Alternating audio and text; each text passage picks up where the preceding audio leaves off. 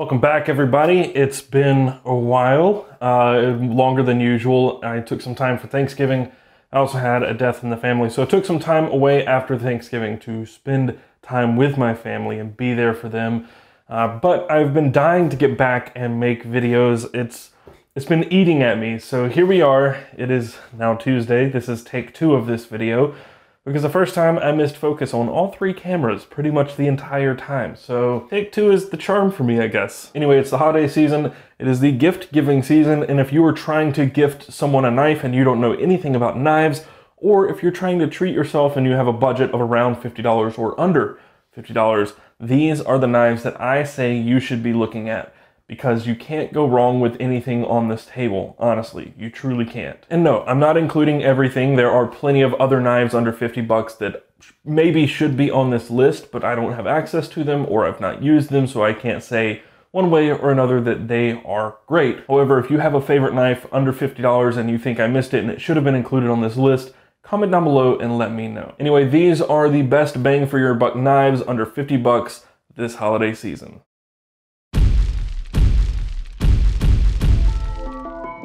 So, as you can see, we have a pretty good spread here, lots of knives to choose from. I have some off to the side as well, just for comparison's sake, or because there are different variants of practically the same knife. I know that not everybody has the same taste or preference, and I know that when you think of budget knives, everybody's mind goes to a different place, and that's okay, because under that $50 threshold, there are a lot of similarities, a lot of the same knife steel used, which means that the differences really come down to build quality and blade shape and style choices.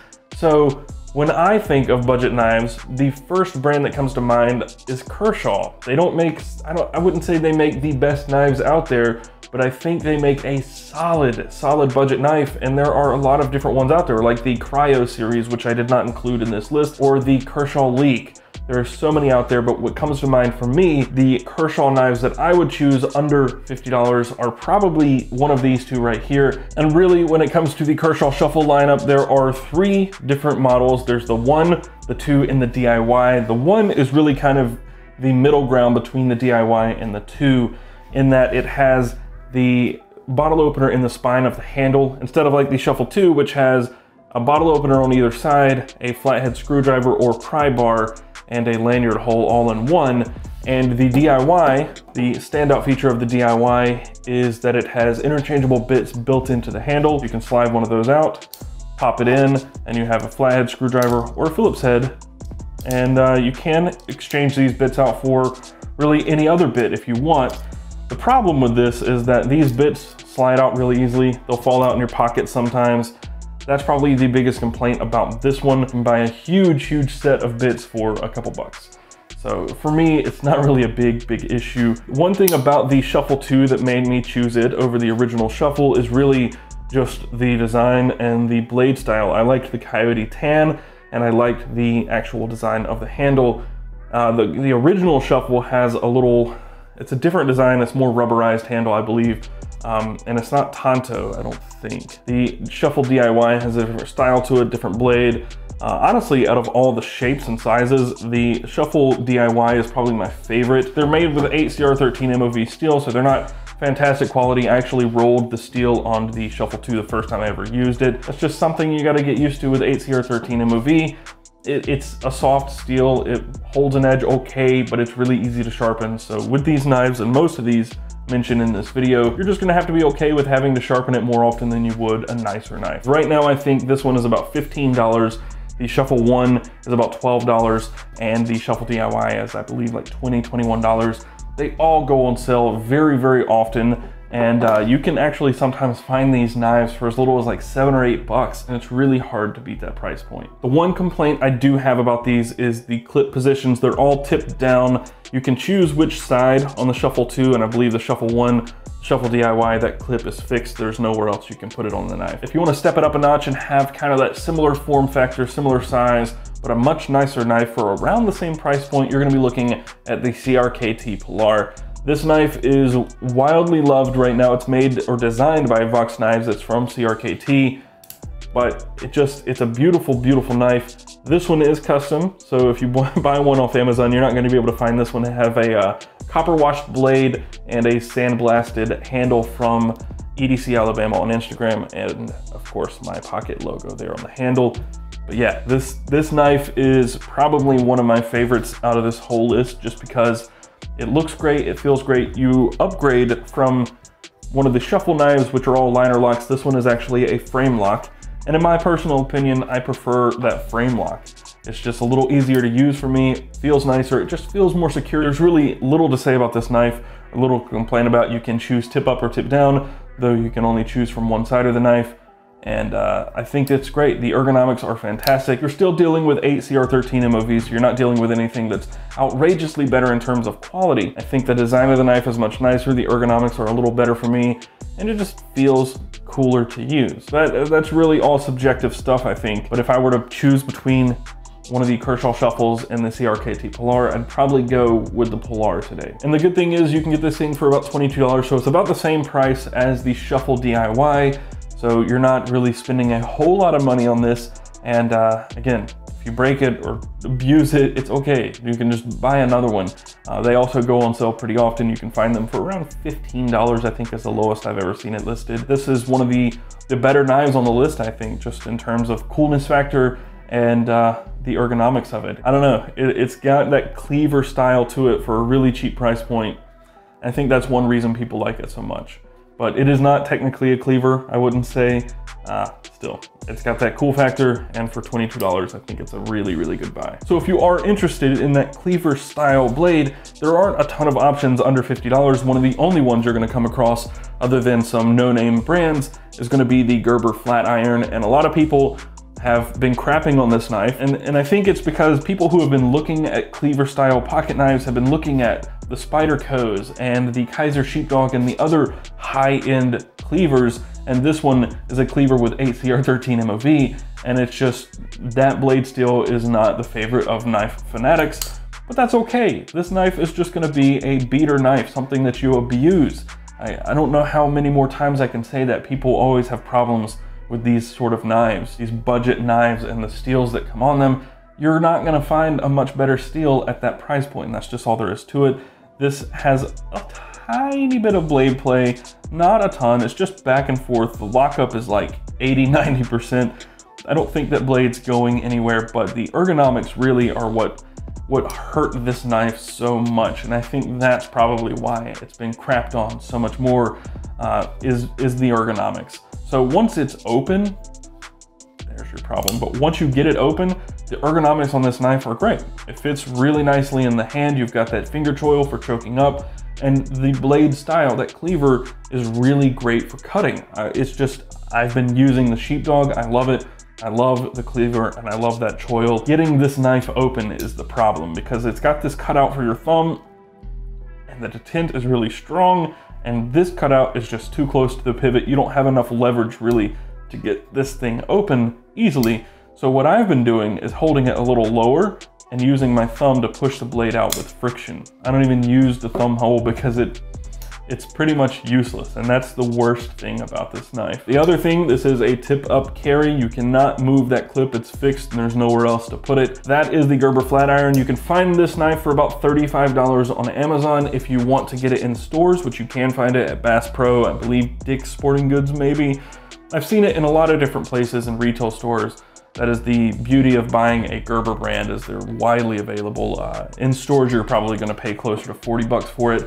Uh, and on Amazon, I've seen it go on sale a couple of times already. So if you're in the market for the Gerber Flatiron, you can find it in stores, uh, but I would say wait for a sale or pick it up online for a little cheaper. Now, when people mention budget knives, there is one knife that comes to mind for a lot of people, and this one is like almost a polar opposite of the Gerber Flatiron. It is not a cleaver, it has great ergonomics, it is really easy to open one-handed, and it is a fantastic quality knife for the price, and that is the Spyderco Tenacious. People love the Spyderco brand. This is very, very much like a Paramilitary 2 with some corners cut for cost cutting. And uh, it's made in China, not America. It is a liner lock, so it's not a compression lock. That's one of your biggest differences with the Paramilitary 2.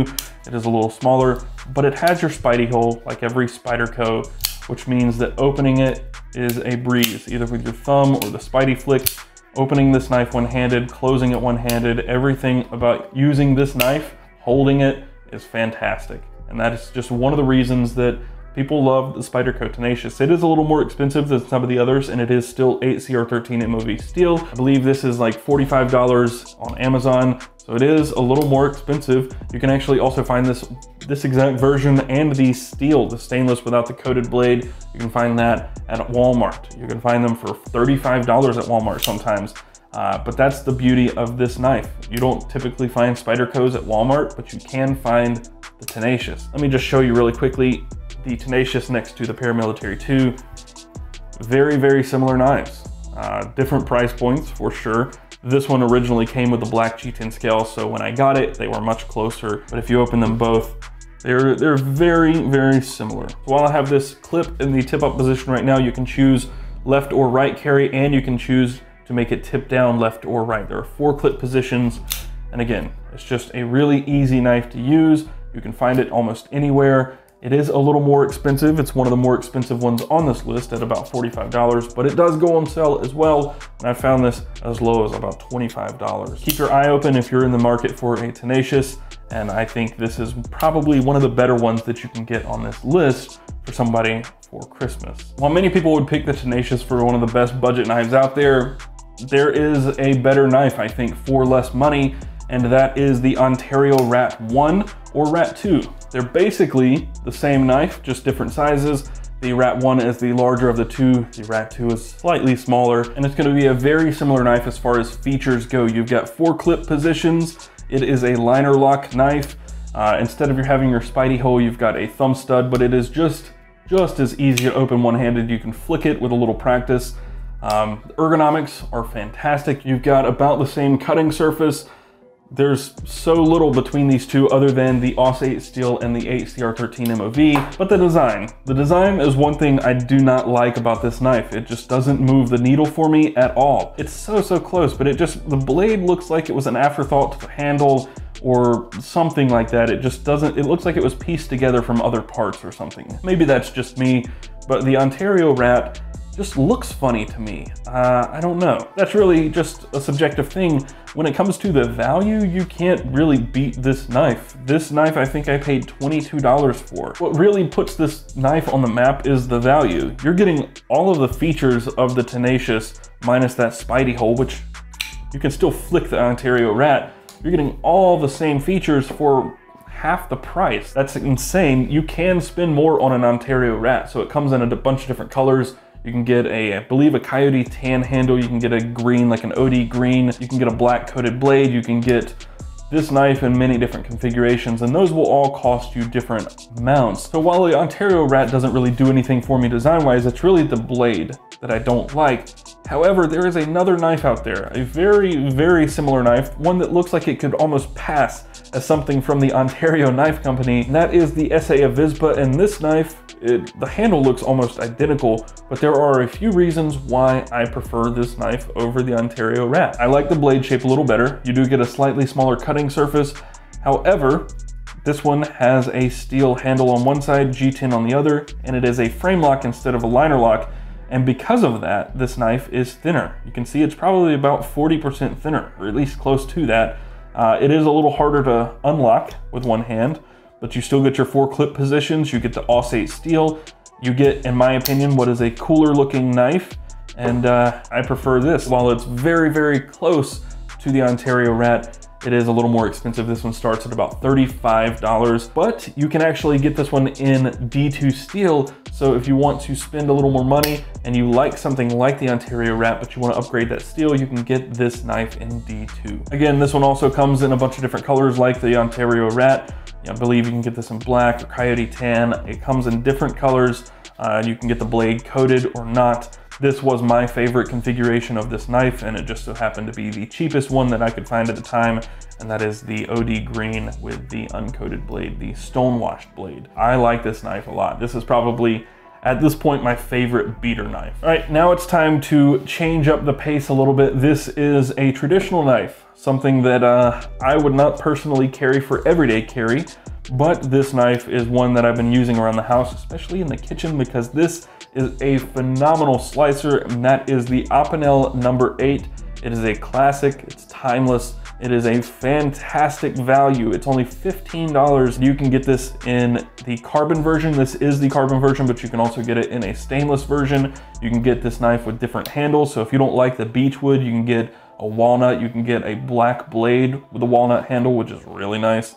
Um, but what makes this knife so unique is the locking mechanism, which is a collar lock. So you open it, you twist this, and that blade is not going anywhere, or you can close it and you can lock this knife shut with that collar lock. But because locking blades are legal in a lot of places, you can also get this knife without the collar lock. So this knife is just a fantastic option for people who want something that's very utilitarian. So this is the number eight version of the Opinel. It comes in Opinel number seven, number six, all the way down to one and all the way up to 12. Each one of those versions is a different size. There are different types of Opinels as well. So you don't have to get that number eight. You can get different ones. They're all great values. This one is just $15 and they, they do go up to over 50 bucks.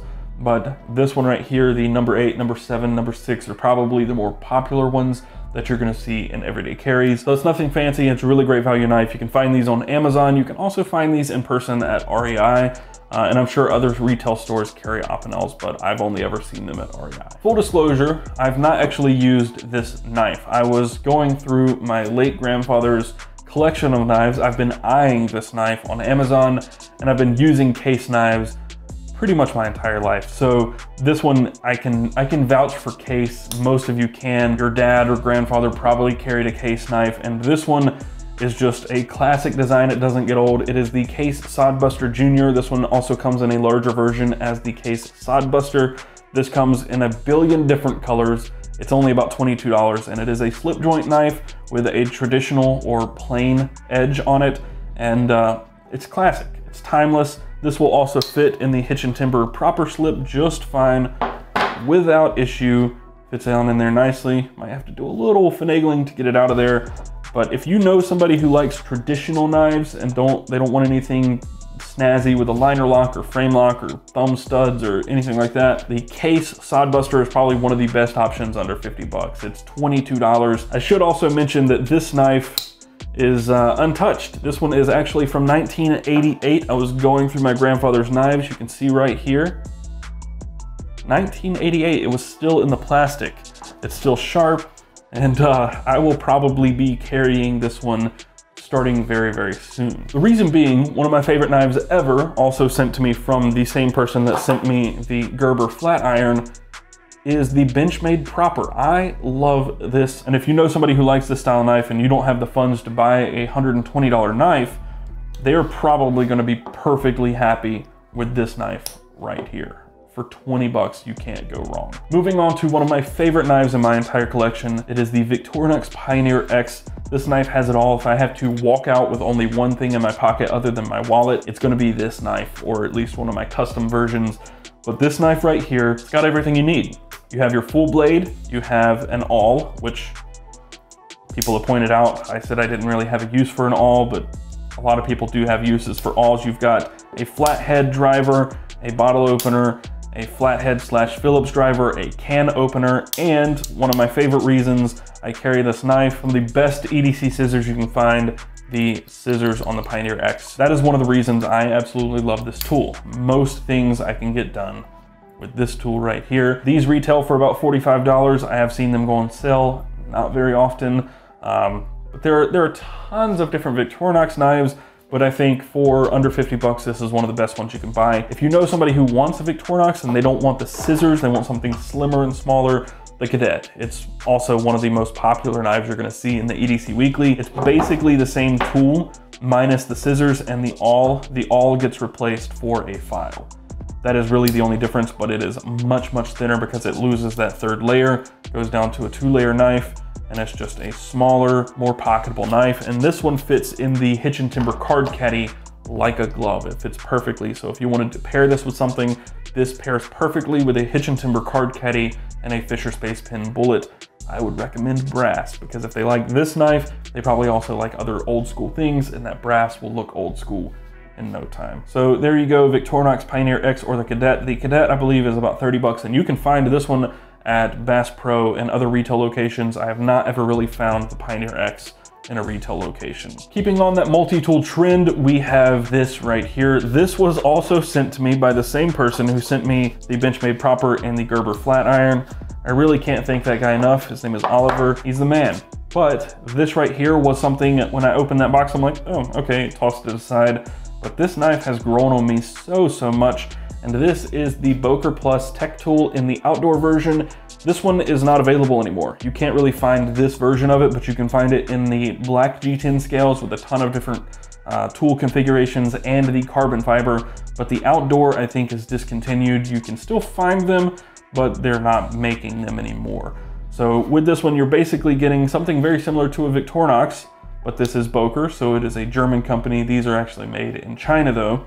Um, so you have your main knife, you have a bottle opener flathead driver, you have a smaller flathead or Phillips driver, a lanyard loop, which is down in there, I can't get that out right now, a Phillips head screwdriver on the back. And one thing to note about this is that most of these tech tools from Boker do not feature the Phillips head driver on the back. Most of them are corkscrews. And personally, I don't care about having a corkscrew on the back of my knife. I'm not ever gonna need one.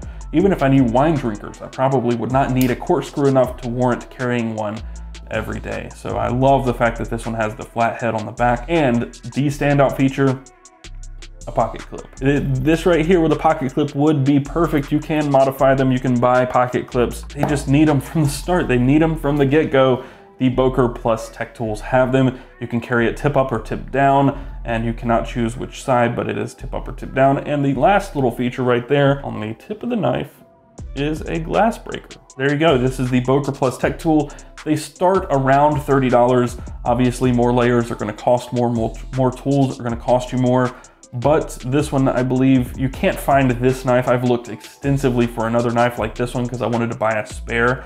Can't find this knife anywhere. This configuration, I can't find it. But this knife, very similar knives to this are gonna be about 40 bucks, I believe. And with all that said, that brings us to the very last knife in this list, and it's something that most of you don't know about, but there's a reason I'm including it. I, I struggled with myself trying to figure out if I should or should not include this knife in this list, and I absolutely decided to. I've not been able to put it down because it's so much fun to play with, but there are other reasons why I've included this knife, this is the StatGear Slinger. It is a very small flipper blade. It's compact. You can only get about three fingers grip on it, which is one of my complaints. I wish there was a choil, just a small choil right there so you could get a better grip, uh, but you can't. So three fingers is about all you're gonna get. The ergonomics are okay, but you have a liner lock, a flipper tab, a ball bearing pivot inside here, and one of the best things about this knife right here, D2 steel.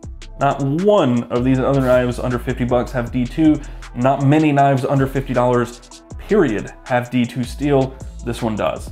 And it is a lot of fun to play with. It's easy to open one-handed because of that flipper tab and a strong detent. Um, lockup is really good. This knife is, it was a sleeper. I got it in the mail I'm like, ah, okay. I didn't like the design. Uh, I don't like the all black. This knife comes with a gray or blue handle those I like a lot. They kind of remind me of a smaller sheepdog, but this one in the all black, I just wasn't a huge fan of, but I am gonna do a video on the Slinger later on. So I'm gonna talk a little more extensively about it in the future, but for playing with, fidgeting, or just cutting, this knife is great. The one big complaint that I have is that it is tip down carry only. So if you wanna carry this in your pocket, you've got to put this in your left front pocket or right rear pocket so that the knife is butted up against the edge of the pocket. But other than that, I have really few complaints about this knife, especially uh, once the other versions of this one get here. So this was a Kickstarter project or Indiegogo, not exactly sure, it was crowdfunded and it was successfully funded and they are shipping out now or some people have already received theirs. Man, it's just a lot of fun to play with and it is $50. So it is right at that limit, $49.95, barely under the limit. But yeah, for 50 bucks, D2 steel flipper with a ball bearing, it's hard to beat that. If I had to pick one knife from this whole entire list that I would recommend for a gift, it would probably be the ESEE Avispa at $35. It is not very expensive. It's everything I like about the Ontario Rat, but it also fixes everything I don't like about the Ontario Rat. So you've got your four clip positions, you've got that uh, stone washed finish, you have a better blade shape in my opinion. I just like this knife a little better, but if you wanted to go a little cheaper and get something that's just as nice, Ontario Rat 1. And if you want to go a little cheaper and know somebody doesn't want a knife quite this large, CRKT Pilar, hands down. So there you have it. Those are the best budget knives of 2018 that you can get right now for under $50. Everything in this video will be linked down below, so if you want to purchase it or read more about it, you can click those links. If you purchase anything using those links, it does give us a little bit of a kickback and that helps keep the lights on here, helps keep the show going. If you want to also help support the show in another way, you can go to patreon.com forward slash best damn EDC. If you enjoyed the video and you found it helpful, hit that thumbs up button below. And of course, subscribe to see more stuff like this in the future and hit that notification bell so you're notified when I do upload new videos. You can follow us around the web. You can find us on Twitter and Instagram at bestdamnedc. You can find me, Taylor Martin, on Twitter and Instagram at CasperTech. And until next time, carry on. With, with preferably one of these knives in your pocket.